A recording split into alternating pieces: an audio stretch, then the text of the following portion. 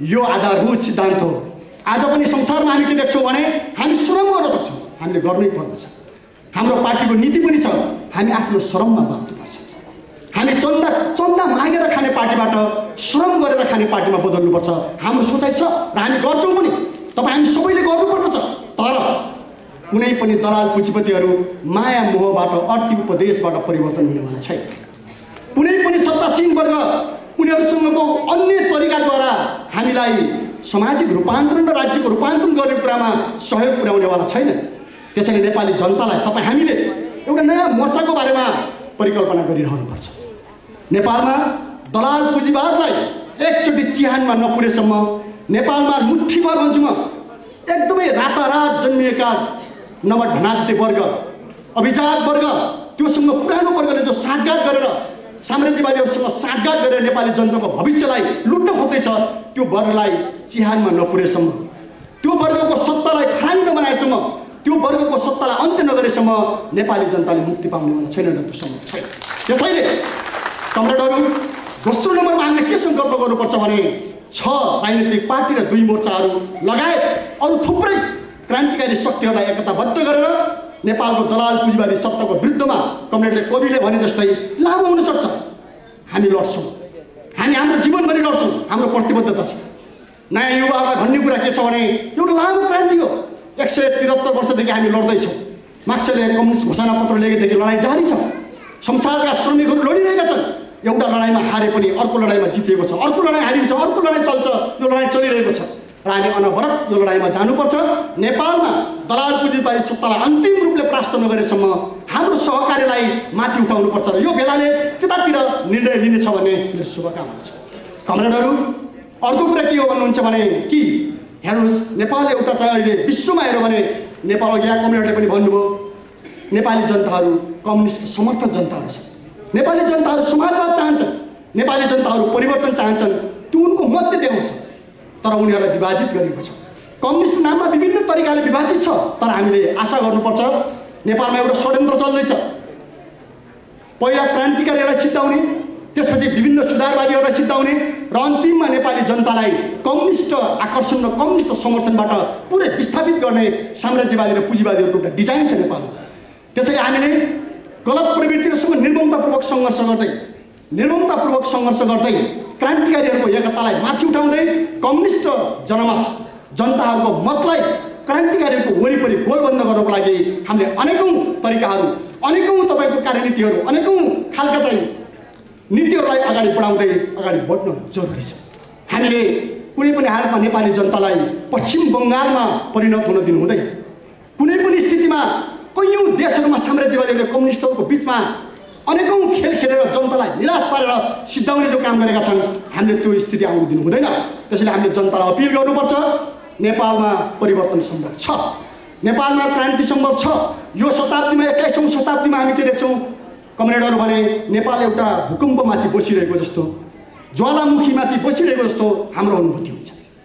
कुनै पनि परिस्थितिमा कुनै पनि बेला यदि क्रान्तिकारीहरूको पहल तयारी त्यसलाई समात्ने एउटा एउटा योजना अगाडि आउने बित्तिकै यो दलाल पुँजीवादी सत्ता भूकम्पमा छेद विच्छेद भएको जस्तो यो फाट्नेछ। यो ढल्नेछ यो गल्ल्यापुर्नु ढल्नेछ र नेपालमा हामीले वैज्ञानिक समाजवाद स्थापना गर्न सक्नेछौँ। त्यसैले त्यसैले कमरेडहरू हामी हामीले नि जस्तै यहाँ कैयौँ कुराहरू अलिकति सुनियो पनि खुसी पनि लाग्यो। केही कुराहरू हामीले भत्काउनै पर्छ। हामीले सोच्ने तरिकाहरू भत्काउनुपर्छ हामीले काम गर्ने तरिकाहरू भत्काउनुपर्छ हाम्रा संस्कार संस्कृतिहरूलाई नयाँ बनाउने सोच्नुपर्छ। हाम्रो आर्थिक जीवन पद्धतिको बारेमा नयाँ सोच्नुपर्छ।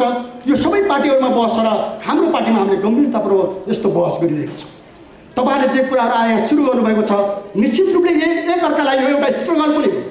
यो एउटा सङ्घर्ष पनि हो। एकअर्कालाई शिक्षित दीक्षित गर्ने प्रक्रिया पनि हो। सबैबाट सबैले सिक्ने कुरा पनि हामी खुल्ला हुनुपर्छ। जसको असल कुराहरू हुन्छ त्यो हामीले सिक्दै जाने कुरा पनि हो। एकअर्कालाई तर हामीले यो पनि एका राख्नुपर्छ कि सर्वहारा वर्गको नेतृत्व भनेको सामान्य कुरा होइन। कम्युनिस्ट पार्टीको नेतृत्व भनेको सामान्य कुरा होइन। त्यो सजिलै निर्माण हुँदैन। त्यसको विरुद्धमा आउने हजारौँ दाउपेज र हजारौँ खेलहरूको विरुद्धमा हामीले कैयौँ मोर्चाबाट सशक्त सङ्घर्षहरू सञ्चालन गर्दै जोगाउनु पर्ने लैजानु पर्ने कुराहरू पनि छन्। त्यस अर्थमा हामीले खुल्ला एउटा बहस गर्दै नेपालको कम्युनिस्टहरूलाई एउटा क्रान्तिकारी ध्रुवमा केन्द्रित गर्ने प्रक्रिया या पहललाई अगाडि बढाउनुपर्छ मैले कमरेडहरूसँग राख्ने तेस्रो विषय हो। अर्को अन्तिममा म के भन्न चाहन्छु भने आज नेपालमा एउटा लडाइँ चलिरहेको छ। एउटा ध्रुवीकरण चलिरहेको छ। एकातिर तपाईँले हेर्नुभयो भने होइन राष्ट्रघात गर्ने मान्छेहरू अनेकौँ तपाईँको खेल लिएर आएका छन्। अहिले चुनावको एउटा हतियार चलिरहेको छ प्रयोग भइरहेको छ। नेपाल ध्रुवीकरण हुँदैछ। देशभक्त र देशघातीहरूको बिचमा राष्ट्रवादी र राष्ट्रघातीहरूको बिचमा दलाल र स्वाभिमानी नागरिकको बिचमा एउटा ध्रुवीकरण हुँदैछ। यो प्रक्रियालाई हामीले तीव्रता दिनुपर्छ। हामीले गाउँ गाउँसम्म पुर्याउनुपर्छ र हाम्रो पार्टीको सोचाइ छ कि यो लडाइँमा पनि हामीले प्रगतिशील शक्तिहरूलाई देशभक्त शक्तिहरूलाई क्रान्तिकारी शक्तिहरूलाई एकताबद्ध गर्न गाउँसम्म जानुपर्छ र राष्ट्रघाती एमसिसी पक्षधर देश बेचेर खाने या तपाईँको देशलाई संसदबाट आफ्नो एकाधिकार जसरी चाहिँ व्यक्त खोज्ने एउटा दलाल पुँजीपति वर्गको विरुद्धको लडाइँमा गाउँसम्म पुर्याउनुपर्छ र हामीले भनेका छौँ एमसिसी पक्षधरहरूलाई गाउँबाट लखेट्ने एउटा अभियान हामीले सञ्चालन गर्नुपर्छ हामीले देशभरिबाट यस्तो भनेर भोलि बिहानैबाट ढुङ्गा मुढा लाटा बन्दुक बोलियो होइन तर यो निश्चित हो कि हामीले जनतालाई अपिल गर्नुपर्छ जसले संसदबाट हाम्रो देशको विरुद्धमा अपराध गरेका छन्। जसले यो देशलाई विभिन्न तरिकाले मालिकहरूसँग मेलमत गरेर लिलाम गर्न खोजेका छन् त्यो राष्ट्रघाती प्रवृत्ति। त्यो तपाईँको देशघाती प्रवृत्तिको विरुद्धमा क्रान्तिकारी र नयाँ नयाँ मोर्चाद्वारा एकताबद्ध गर्ने जनतालाई ध्रुवीकृत गर्ने आफ्नो देश र आफ्नो अधिकारको पक्षमा गोलबन्द गर्ने प्रक्रियालाई अगाडि बढाउनुपर्छ यो कुरामा पनि तपाईँहरूको भेलाले अवश्य नै सोध्नेछ। त्यसैले हाम्रो आग्रह छ हामीले एउटा नयाँ यात्रा साझा यात्रा गर्नै पर्दछ। थुप्रै उदाहरणहरू छन्। सम्भव भयो पार्टी एकता नै हामीले गर्नुपर्दछ कमरेडले भनेको जस्तो हामीले मेहनत गर्नुपर्छ र त्यो त्यो दिशामा हामीले पहल गर्नुपर्छ। मैले सबै पढ्न पाएको छैन तपाईँहरूको दस्तावेज तर मैले सुनेको छु। होइन जुन खालको मूल्याङ्कन त्यहाँ तपाईँहरूले गर्नुभएको छ या विश्लेषण गर्नुभएको छ त्यो प्रति हाम्रो एउटा सकारात्मक सोचाइ छ समर्थन पनि छ। र कैयौँ कुराहरू हामीले गर्दै जानुपर्ने कुराहरू छन्। यदि एकता भएछ भने हामीले पार्टी एकता गरेर एउटा नयाँ क्रान्तिकारी केन्द्रको निर्माणलाई सशक्त बनाउँदै लानेतिर हामीले सोच्नै पर्दछ। यदि त्यो सम्भव भएन भने पनि हामीले कैयौँ अन्तर्राष्ट्रिय मित्रहरू जो तपाईँहरूले मित्रचित्तमा देखाउनु पनि भयो। विश्वमा साम्राज्यवादको विरुद्धका मोर्चाहरू थुप्रै ढङ्गले लडिएका छन्। दलाल पुँजीपतिहरूको विरुद्धमा थुप्रै तरिकाले लडिएका छन्। त्यो लडाइँ सफल पनि भएका छन्। त्यसले हामीले यो आशा पनि गर्नुपर्छ सम्भव एकता नभए रणनीतिक संयुक्त मोर्चा बनाउँदै सम्पूर्ण रूपले क्रान्तिकारीहरूलाई आशा बनाउँदै यहाँ नेपालमा एउटा निराशाको लहर पनि चल्छ कहिलेकाहीँ विभिन्न आलोचनाहरू पनि चल्ने गर्छन्। अलिकति गर्छु भन्ने मान्छेहरूलाई पनि आक्रमणका विभिन्न प्रयासहरू हुन्छन्। तर हाम्रो एउटा हाम्रो आत्मविश्वास छ हामीसँग एउटा दृढता छ। हामी जहिलेसम्म बाँच्नेछौँ नि त्यहिलेसम्म दलाल पुँजीवादको विरुद्धमा आराम गर्नु हुँदैन। विश्राम लिने छैन। त्यसको विरुद्धमा सबैले सामूहिक एउटा लडाइँ हामीले लड्नै पर्दछ। हामीले नयाँ पिँढीलाई हामी जस्तो होचिमिनको कुरा तपाईँले यहाँ गर्नुभयो यो हजार वर्ष चल्न सक्छ। हजार वर्षको मान्छे कोही पनि बाँच्दैन नि। तर हजार वर्षको यात्राको कुरा गर्नु भनेको नयाँ पुस्तालाई तयार गर्ने कुरा। हाम्रो देशको बारेमा हाम्रो जनताको बारेमा नयाँ पुस्तालाई तयार गर्न हामी तयार छौँ। हामी सामूहिक ढङ्गले प्रयत्न गरौँ। अवश्य पनि हामीले मेहनत गऱ्यौँ भने हाम्रो के विश्वास छ कमरेडहरू भने एक दिन आजसम्म विभिन्न निराशाको म गीतहरू सुन्छु कैयौँ। होइन कैयौँ म तपाईँको कविताहरू सुन्छु। कैयौँ तपाईँको लेखहरू पढ्छु।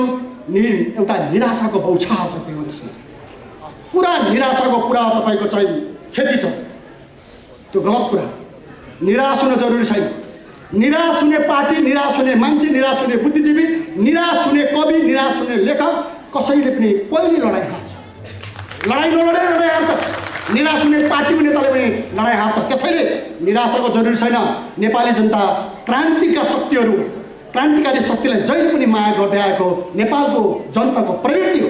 त्यस विश्वलाई विभिन्न प्रकारले आफ्नो प्रभावमा प्रभुत्वमा राख्दै आएको एउटा भूमण्डलीकृत साम्राज्यवाद नेपालमा डलर बोकेर प्रवेश गरेको छ। र त्यो डलरको बाटो नेपालका दलालहरूले यहाँका दलाल पुँजीपति वर्गका प्रतिनिधिहरूले र उनीहरूका प्रतिनिधि पार्टीहरूले खोलिदिएका छन्। डलर आउने ढोका नेपालका दलालहरूले खोलिदिएका छन्। यो दुइटै शक्तिको चाहिँ मिलोमतोमा भूमण्डलीकृत साम्राज्यवाद र नेपालको दलाल पुँजीवादको मिलोमतोमा नेपालको स्वाधीनता र सार्वभौमप्रति हस्तक्षेप गर्ने एउटा षड्यन्त्र अगाडि बढिरहेको छ र नेपाललाई नवोपनिवेशमा धकेल्ने नेपाललाई एक्काइसौँ शताब्दीमा नयाँ प्रकारले उपनि उपनिवेश बनाउने एउटा ठुलो षड्यन्त्र र अतिक्रमण चलिरहेको छ। तपाईँ हामी सबैले त्यसको विरुद्धमा आवाज उठाएका छौँ लडेका छौँ र नेपाली जनताले हामीलाई साथ दिइरहेका छ तर एउटा डरलाग्दो चित्र हाम्रो अगाडि छ। कानुनी ढङ्गले नेपालको संसदीय व्यवस्था र यहाँको दलाल पुँजीवादले मान्यता दिएर नेपाली जनताको सार्वभौमिक अधिकारमाथि अतिक्रमण गरेको छ। त्यसैले हामीले के भनेका छौँ भने नेपालको संसद नेपालका संसदवादी दलहरू चाहे जुनसुकै रूप र रङका हुन् ती नेपालको स्वाधीनता बचाउन असफल भएका छन् या तिनीहरूले नेपाली जनताको नेतृत्व गर्न पूर्णत असफल भएका छन् र नेपालमा दलाल पुँजीवादी व्यवस्था र संसदीय व्यवस्थाको औचित्य समाप्त भएको छ हामीले त्यो भनेका छौँ। त्यसकारण कमरेडहरू कि? यो संसदभन्दा यो दलाल पुँजीवादी सत्ताभन्दा माथि रहेको शक्ति भनेको नेपाली जनता हो नेपाली श्रमिक जनता हो। नेपाली श्रमिक जनताको नेतृत्व गर्ने प्रतिनिधिको हिसाबले देशको रक्षा गर्ने र नेपाली जनताको आकाङ्क्षाको प्रतिनिधित्व गर्ने जिम्मा एउटा प्रश्नको रूपमा हाम्रो अगाडि खडा छ। तर हामीले भनेका छौँ हाम्रो छ पार्टी दुई मोर्चा। अहिलेसम्म हामी एक डिक्का नै छौँ र त्यसको वरिपरि थुप्रै बुद्धिजीवी साथीहरू देशभक्त व्यक्तित्वहरू देशभक्त शक्तिहरू एकाकार छन्। र हाम्रो के भनाइ छ भने तपाईँहरू यो भेलामा राम्रो छलफल गर्नुहोस्। हाम्रो एकता हाम्रो सहकार्यलाई अगाडि बढाउँदै यो साम्राज्यवादी अतिक्रमण र दलाल पुँजीवादी आत्मसमर्पणको विरुद्धमा एउटा नयाँ लडाइँको मोर्चा खोल्नुपर्छ र कुनै पनि मूल्यमा यो देशलाई साम्राज्यवादी हातमा जान दिनु हुँदैन। हामी एक भएर हामीले भनेका छौँ त्यो ठुलो कुरा होइन। नेपाली जनताले हामीलाई साथ दिनेछ। अप्पर कर्णालीले हामीले रोकेर राखेका छौँ। सायद तपाईँहरू सबैलाई थाहा छ होला। दैलेख र अछामको बिचमा हिमालको जराबाट कर्णालीलाई जसरी अपहरण गरेर लखनऊ पुर्याउने षड्यन्त्र नेपालमा चल्यो। त्यसको विरुद्धमा तपाईँ हामी सबैले आवाज उठायौँ। हाम्रो पार्टीले मोर्चा कसेर लड्यो। अहिले पनि त्यो एक प्रकारले भन्दा रोकिएको छ। हामीले फेरि पनि पहल गर्नुपर्छ। एमसिसीलाई कुनै कानुनी मान्यताले लागू गर्न सकिँदैन। कुनै संसदको स्वीकृतिले एमसिसीले लागू गर्न सकिँदैन। कुनै दलालहरूको आत्मसमर्पण र लाछापले नेपालमा एमसिसी लागू हुन सक्दैन। एमसिसीको विरुद्धमा नयाँ मोर्चा खोल्नुपर्छ। कुनै पनि मूल्यमा त्यसलाई रोक्नुपर्छ र नेपालबाट साम्राज्यवादको अतिक्रमणलाई चाहिँ रोक्नुपर्छ। हाम्रो पार्टीको एउटा सुस्पष्ट दृष्टिकोण म कमरेडहरूसँग राख्न चाहन्छु। दोस्रो कुरा यो सबै देशको विपत्ति देशको सङ्कटको कारण भनेको नेपाली जनता होइन। यहाँ कैयौँले के भन्छन् भने नेपाल गरिब छ नेपाली जनताहरू गरिब छन् त्यसैले हामीले यस्तो गर्नुपर्छ। कैयौँ भनेको मैले सुनिरहेको छु अन्तर्वार्ताहरूमा लेखहरूमा तर्कहरूमा। अनौठो लाग्छ हामीलाई अनौठो एउटा एउटा विचित्रको के छ भने नेपाली जनता गरिब छ नेपाल गरिब छ त्यसैले एमसिसी चाहिन्छ। त्यसैले अरू ऋण चाहिन्छ। त्यसैले अरू अरू थुप्रै प्रोजेक्टहरू प्रयोजनाहरू ल्याउनुपर्छ। यसलाई रोक्नेहरू भनेका खोकरा राष्ट्रवादीहरू हुन्। यसलाई रोक्ने भनेका अरू कुनै काम नपाएर अनि सस्तो लोकप्रियताको निम्ति जनताको चाहिँ मत मत आफूतिर तान्नुको लागि गरेका खेलहरू यो प्रचार गरेको छ। त्यसो होइन मित्रहरू र कमरेडहरू नेपाली जनता गरिब भएर समस्या आएको होइन। नेपाल देश गरिब भयो भन्ने नाममा यो समस्या आएको होइन। यो समस्याको मुख्य कारण भनेको नेपालको दलाल पुँजीवादी सत्ताहरू लुटेर भएको जसले आजसम्म नेपालमा तिन करोड नेपाली जनतालाई एक प्रतिशतभन्दा कम मान्छेहरूले लुटिरहेका छन् त्यो अन्त्य भएको छैन। सामन्तवादलाई गाउँ गाउँबाट हामीले तपेट्यौँ। नेपालका थुप्रै वर्गसँग तपाईँहरूले वृत्तचित्रमा देखाएको जस्तै थुप्रै सङ्घर्षहरू जो भए त्यो सङ्घर्षको उत्कर्षको रूपमा आएको जनयुद्धले सामन्तवादका थुप्रै जराहरू गाउँ गाउँबाट उखेलेर फालिदियो। तर हामीले त्यसलाई केन्द्रमा पुर्याउन सक्यौँ केन्द्रमा वैज्ञानिक समाजवाद या नवरचनावाद हामीले स्थापना गर्न सकेनौँ। जसको परिणाम परिवर्तनहरू केही भए तर सत्ता नेपाली जनताको हातमा हुन सकेन र सत्ता लुटेर वर्गको हातमा गयो। दलाल पुँजीपति वर्गको हातमा गयो सत्ता।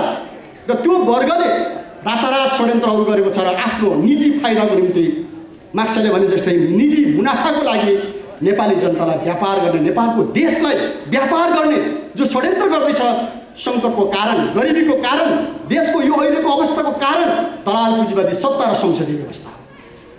त्यसैले हाम्रो भने के छ भने दोस्रो नम्बरमा यो संसदीय व्यवस्था अहिले जसरी रजाइ गरेको छ थुप्रै सङ्कटका बावजुद जसरी आफूलाई हाबी गराउन खोजेको छ यसको विरुद्धमा एउटा नयाँ खालको विद्रोह नयाँ खालको क्रान्ति आवश्यक छ क्रान्ति बिना कुनै पनि सत्तासीन वर्गलाई पछार्न सकिँदैन म वैज्ञानिक समाजवादी पार्टीका साथीहरूलाई भन्न चाहन्छु हेर्नुहोस् दुनियाँ मार्क्सले कम्युनिस्ट घोषणा पत्रमा लेख्नुभयो हामीले संसारलाई नढाकेर भन्नुपर्छ श्रमिक वर्गले आफ्नो बलद्वारा पुँजीवादी सत्तालाई मिल्काउनु बाहेक अरू कुनै पनि विकल्प छैन। उभिएर हामी विश्वासका साथ भन्न सक्छौँ।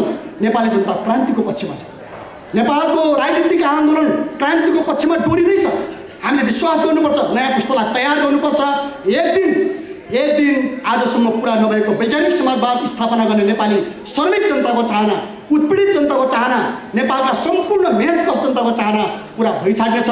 तपाईँ हामी पुरा हुने गर्न सक्नेछौँ। यो विश्वास राखौँ। तपाईँको भेला सफल होस्। हस्त धन्यवाद। लाग्छ।